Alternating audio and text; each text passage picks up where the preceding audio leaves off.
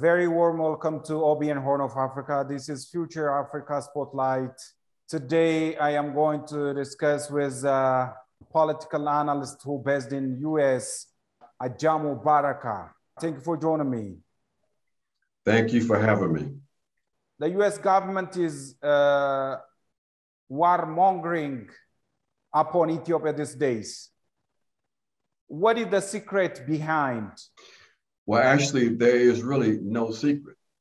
Uh, the U.S. has been quite clear about its intentions, not only in Africa, but really uh, throughout the world.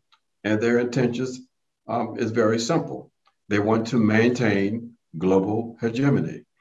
Their uh, policies are being informed by the uh, bipartisan commitment to the doctrine of full spectrum dominance. Full spectrum dominance is the idea that the US would be globally hegemonic and that in every region, any particular state that builds the uh, potential power to challenge US interests in a particular region, be it Africa or Latin America or even Asia, those states will be undermined in order to make sure that they never pose a threat to US hegemony. So in the case of Africa, we, we pose a very simple question to our friends in the US. What is the most dynamic and right now fastest growing economy on the African continent? And the answer, of course, is Ethiopia. And we say, what was the most prosperous nation on the African continent just a few years ago uh, in 20, uh, 2011? And the answer is Libya. Well, what happened to Libya? Libya was targeted and basically destroyed. What is happening today? Ethiopia is targeted and there are attempts to try to undermine its uh, national sovereignty and to balkanize the nation. Who benefits from that? What interests benefit from that? Well, it's quite obvious. So, what we see in the US is a, a sophisticated, orchestrated attempt to uh, garner uh, public support uh, for the uh, policies and objectives of the US on the African continent, with Ethiopia now currently in the crosshairs of US destabilization efforts. This global media, uh, majorly CNN, Reuters, Associated Press, and others, are really busy with disseminating false uh, narratives. Recently, you tweeted and posted about hybrid war against Ethiopia, about manipulating the incumbent government, misinformation, about uh, news fabrication and false propaganda and deceiving the incumbent leader in Ethiopia. What do you mean by? Well, you know, um, hybrid war, war, is the methodology used by, uh, by global imperialism today. It is a multi-dimensional efforts, effort to undermine the sovereignty of, of states that they have targeted. A central component of this hybrid war is the information uh, war, the struggle around perceptions and the construction of perceptions. And so what we see with Ethiopia is that there is the uh, creating the perception uh, that the state is unstable, uh, that um, the uh, uh, war that is taking place um, in the northern part of the country that was initiated uh, not by the Ethiopian government, but by a regional entity, is in fact the responsibility of, of the Ethiopian government. And so they are galvanizing a public opinion to support uh, their, their objectives in that country. So this is part of the informational war uh, that the uh, private corporations that are supposed to be independent are in complete alignment with the political objectives of the US state.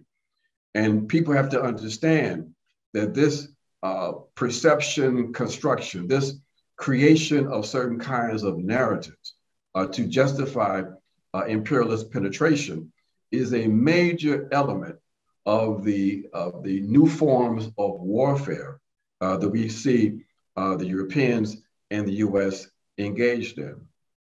You've said uh, the US government is busy in intervening in that of Ethiopian politics for the sake of global hegemony.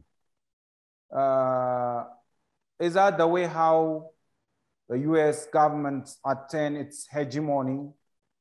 Uh, is that advisable, like terrorizing a nation at the same time getting your own hegemony, or it's better to be uh, ally of this nation and working together for common interest?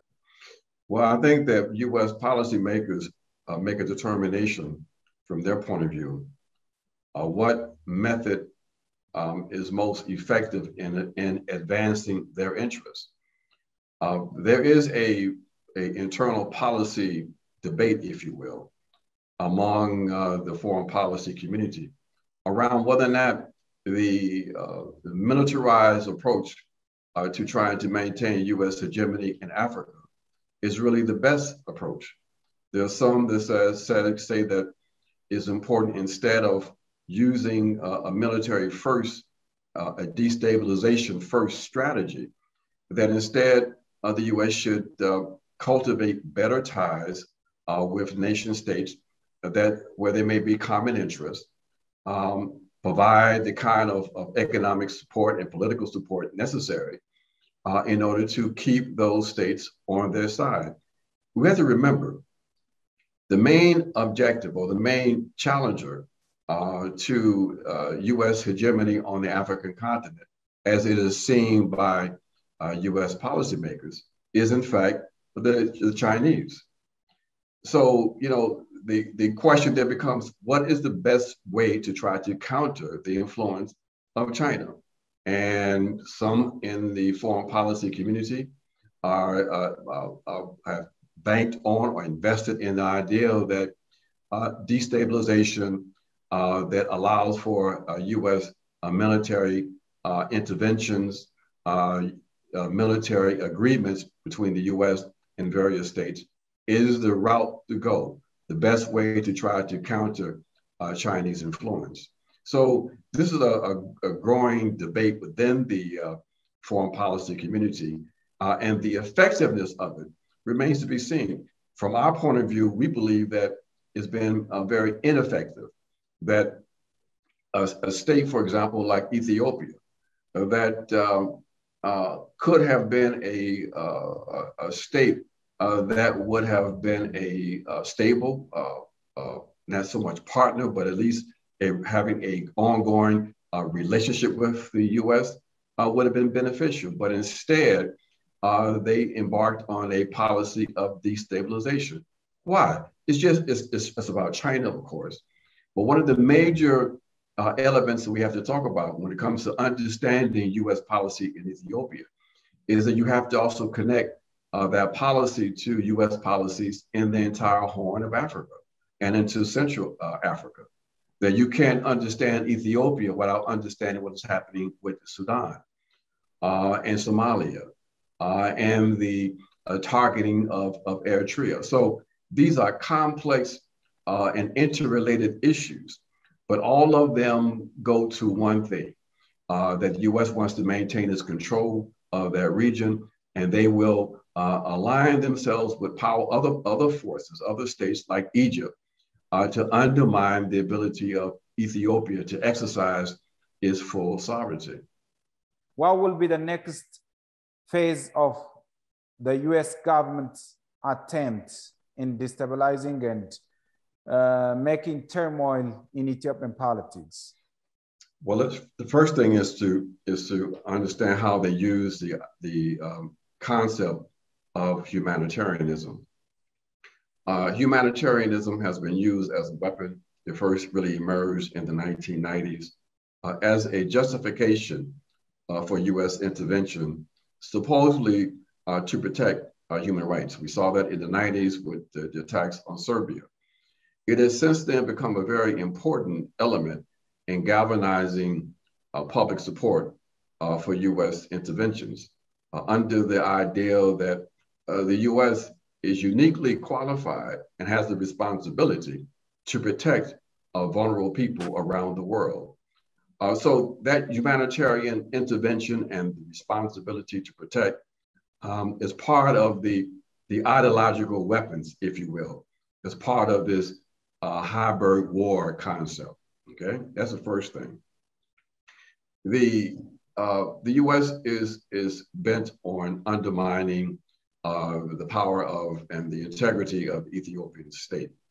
Uh, the next step, um, and understand this, the military element of the conflict uh, in Ethiopia uh, is going to continue until there is uh, sufficient pressure put on the Ethiopian state uh, to come up with some kind of quote unquote national reconciliation process.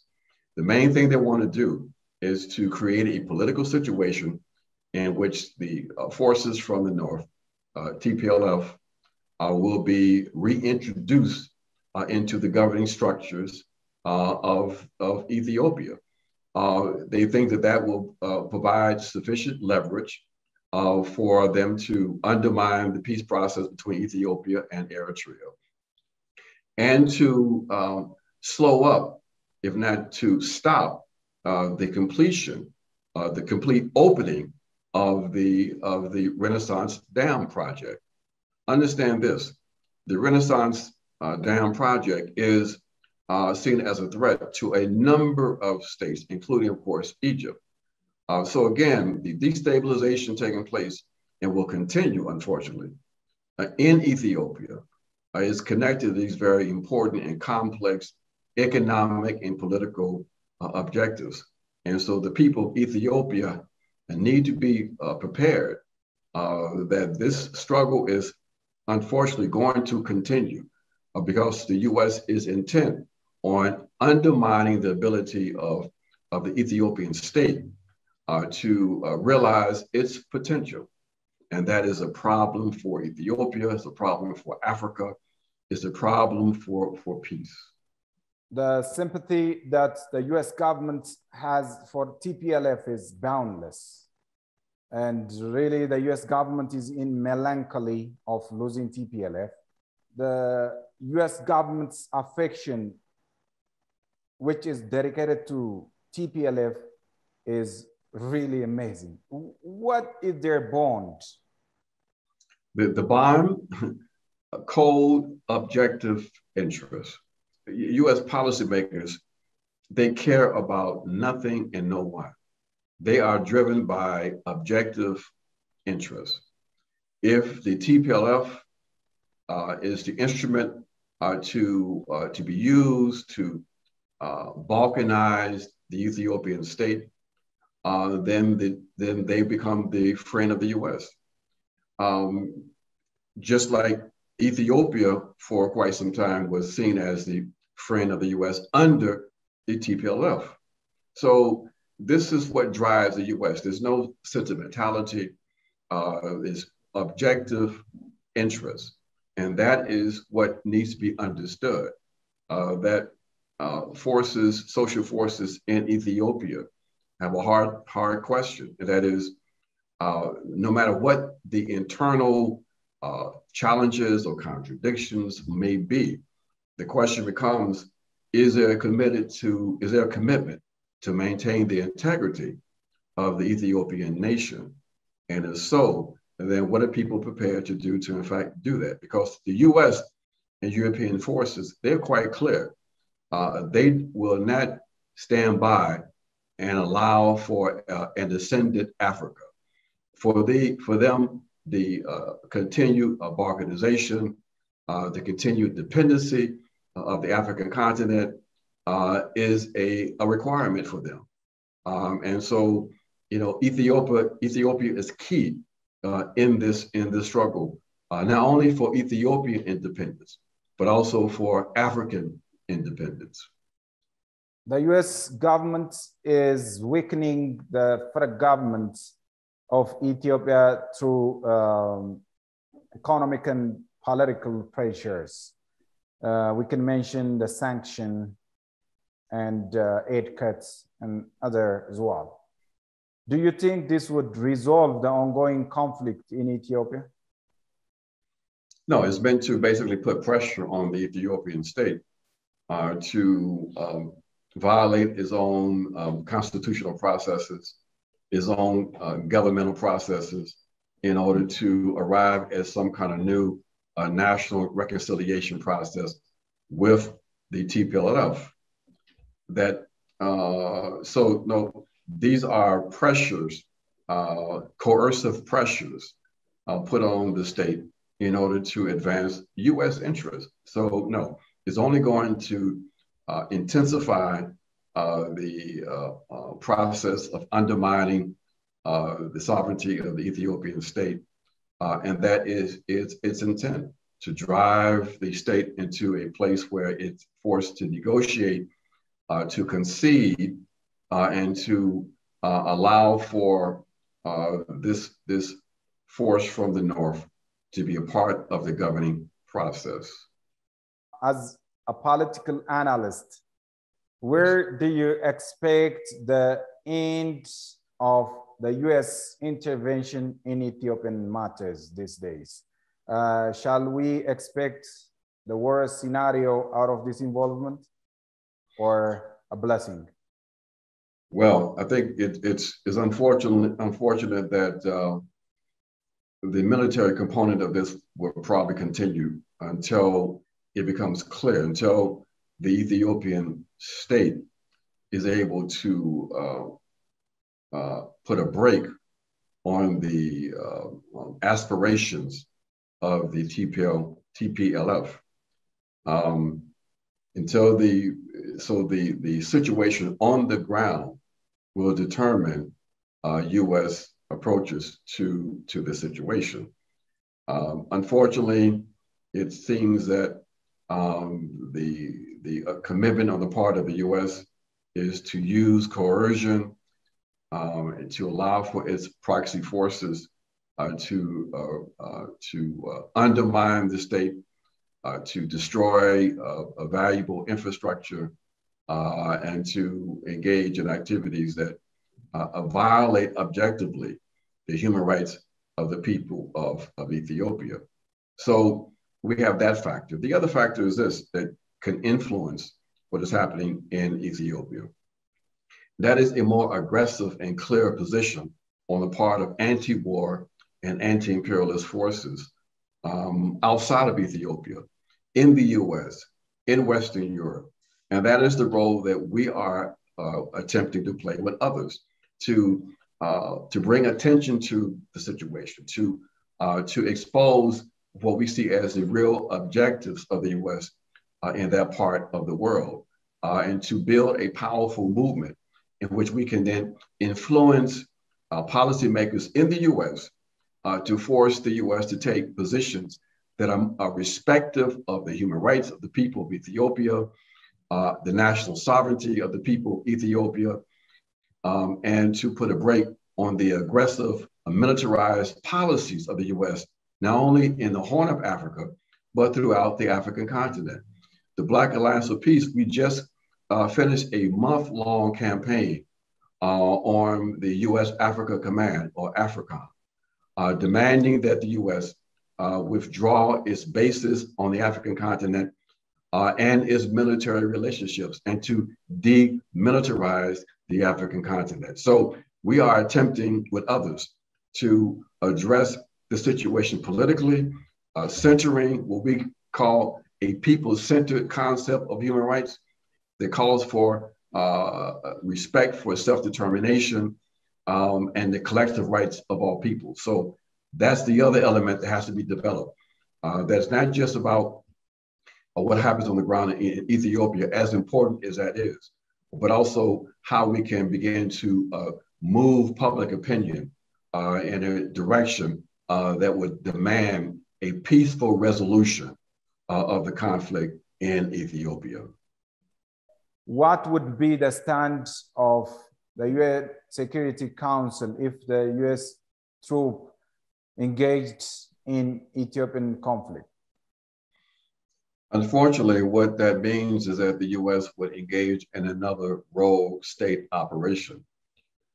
interventions into um, into various nations nations on the part of any state uh, is a violation of the United Nations Charter, a violation of international law. But we have seen that the U.S. has not allowed that to prevent them from illegal interventions, uh, from destabilization campaigns.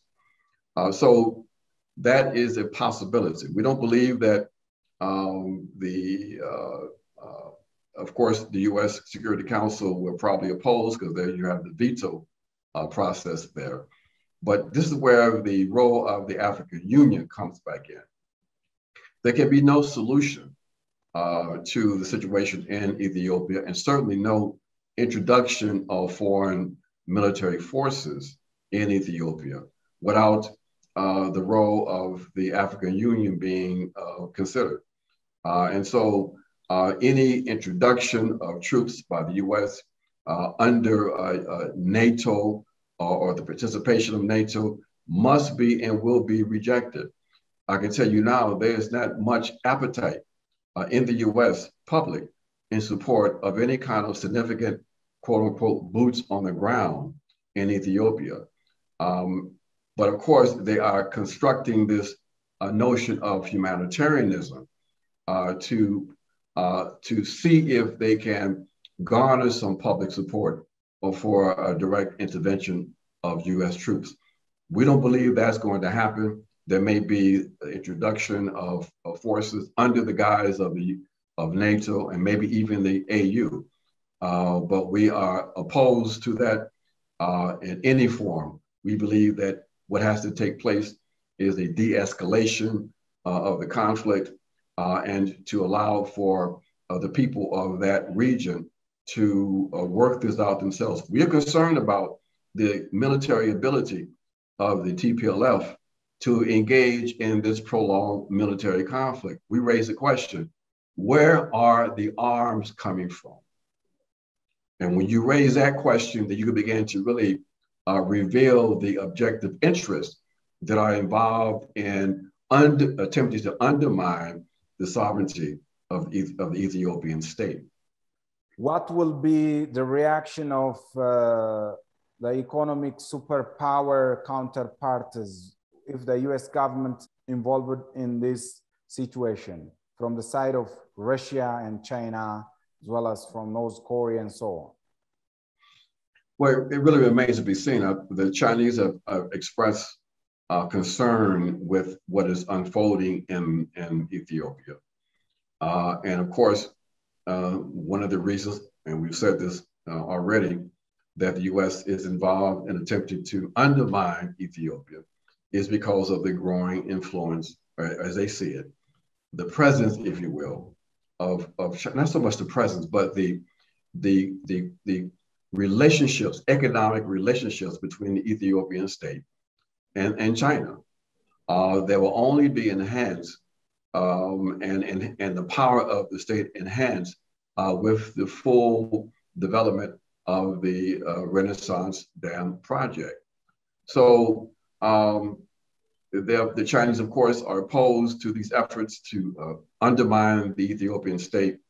Um, the Russians are not really a significant force in this equation yet. Uh, they have their own issues that they have to deal with, um, and that we should deal with also in terms of what is happening on the African continent. Uh, but right now, uh, there's not much support uh, from either the Russians or the Chinese for any direct UN uh, intervention. And because of that, uh, then we think we can be quite confident in asserting that there will be no Security Council vote uh, to allow for a UN uh, intervention under the guise of peace to take place in Ethiopia. Ajamu Baraka, political analyst, thank you for your uh, words mentioning insights upon the ongoing situation in Ethiopia. Thank you. Have a good one. My pleasure. Thank you.